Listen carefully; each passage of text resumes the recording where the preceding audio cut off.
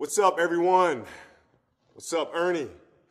It's a pleasure to be here. Los Angeles. Wow. Congrats on welcoming 50 million visitors. This right here is a championship moment. And that's because this city is always innovating. I mean, check me out. I'm a hologram. Only in LA can I be in two places at the same time.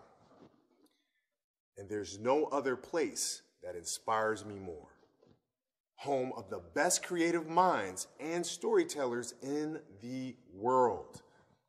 We got All Star games, the Super Bowl, the World Cup, and the 2028 Olympics. Los Angeles, you're truly the sports capital of the world. And your best stories still to come. Hope you're watching.